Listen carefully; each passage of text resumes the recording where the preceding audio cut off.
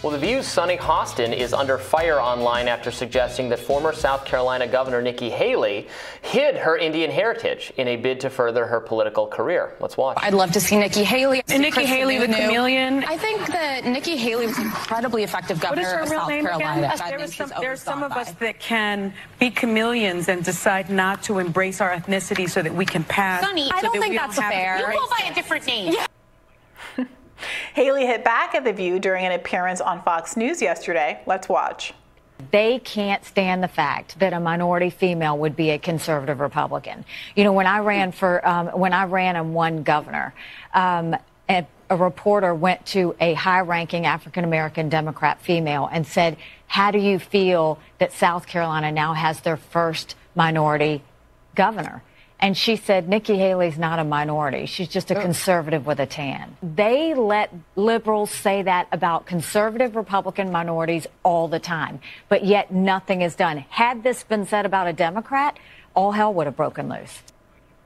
Yeah, I think she's entirely right. This is where having a very reductive view of identity politics get you get to you.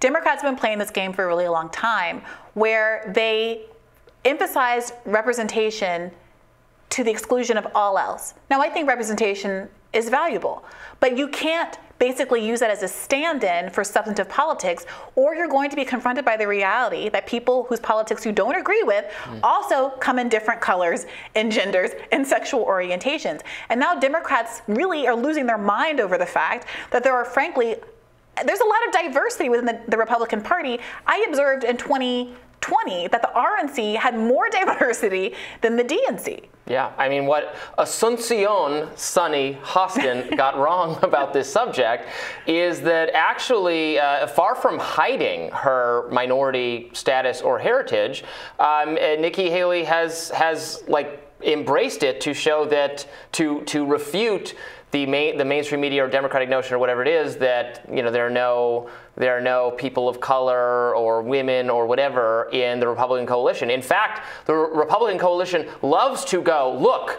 we have minorities who support no, us. No one's doing identity politics as well as Republicans these days. I, gotta say. I think that's true. I, I Yeah. think that well, a lot And- of it, and but moreover, they do not. uh, But Yeah. they do not shy away from saying they do not at all try to hide or cover up the fact that they have some minorities supporting them. Yeah. When they have minorities supporting them, they st- look at this Yeah, minority they supporting put 'em- us. they put we right just behind Trump at the gays rally. against groomers, right? they, they they want Yeah. they want to people who are Republican who who are not.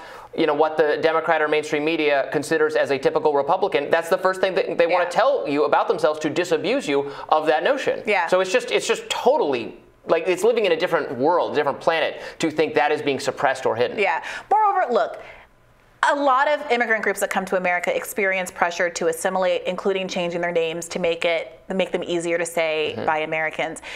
This is a pressure that a lot of people have been under, including Barack Obama, who famously went as Barry until he was well into adulthood, right?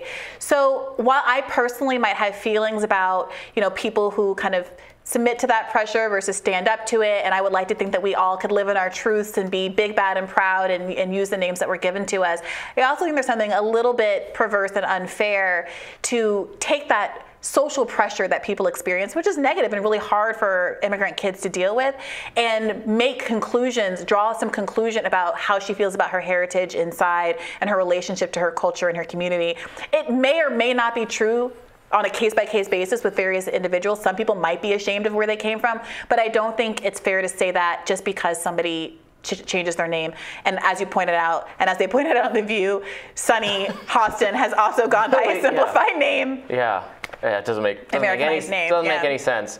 Um, a, a very funny example of a of, of being uh, of, of facing political pressure to change your name, obviously, on the Republican side is uh, Ronna Romney McDaniel, the RNC chairwoman who dropped the Romney from her name, uh, demanded as after that was demanded by the Trump people. I had no idea. did not heard about Ronna that one. Romney McDaniel is just Ron, Ronna McDaniel now. And on the other side, we have um, Beto O'Rourke, O'Rourke, O'Rourke Ro- Robert, Right.